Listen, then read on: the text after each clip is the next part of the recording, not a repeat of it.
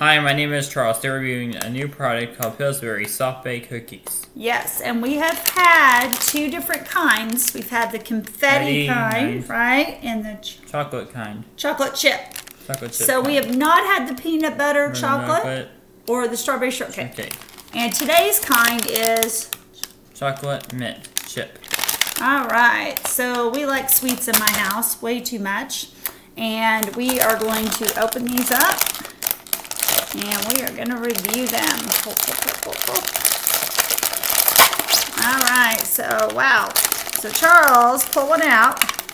Would you say they're small or big? Small. So I would say they're a good size. They're like a medium cookie. You could smell. Mm, smell it. Yeah. What's it smell like, Charles? mint? Mint and dark chocolate. All right, take a bite, dude.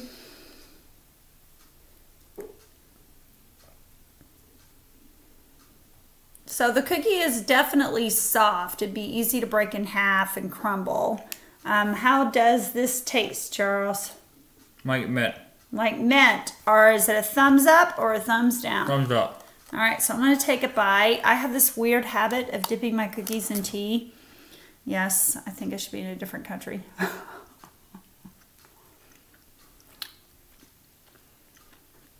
oh, wow. So this little thing is phenomenal. You know how sometimes you can eat cookies and you don't I, I purposely do not eat things out of the bag. I try really hard not to. This is not a bag you'd want sitting around. No. Because these are fabulous. Yeah. They're soft. They definitely taste like more of a dark chocolate, Dark chocolate. right? Mm, Yeah. And the mint is definitely strong, right? Mint is definitely strong.